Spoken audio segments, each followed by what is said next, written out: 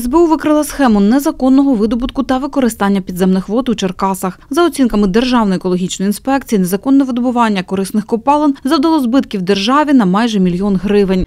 Встановлено, що схему організував керівник одного із заводів регіону. Він, не маючи відповідної дозвільної документації, використовував водні ресурси з двох підземних свердловин для роботи підприємства. За оцінками Державної екологічної інспекції, незаконне видобування корисних копалин завдало збитків державі на понад 800 тисяч гривень. Наразі генеральному директору підприємства повідомлено про підозру за частиною 2 статті 240 та частиною 2 статті 364 прим. 1 Кримінального кодексу України. Тривають слідчі дії з метою виявлення та притягнення до відповідальності інших осіб, причетних до функціонування протиправної схеми. Викриття протиправної діяльності відбувалося спільно зі слідчими Нацполіції за процесуального керівництва Черкаської окружної прокуратури.